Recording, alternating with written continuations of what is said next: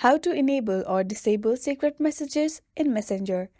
Let's jump right into the steps. First, you want to go ahead and open Messenger app on your phone. Open the chats of the person with whom you want to enable or disable secret messages. Then tap on their name. Now you want to go ahead and scroll down a little bit and you will see go to secret conversation. Go ahead and tap on it. And that is how you can enable secret messages here. Now to disable this again, you want to go ahead and tap on their name. Now you want to scroll down a little bit, then you will see there is disappearing messages. Go ahead and tap on it. Now you can turn it off or you can put it to 24 hours.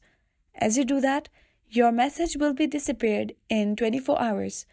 As you do that, you'll be disabling secret messages in Messenger. So that is how to enable or disable secret messages in Messenger. I really hope this video helped you out.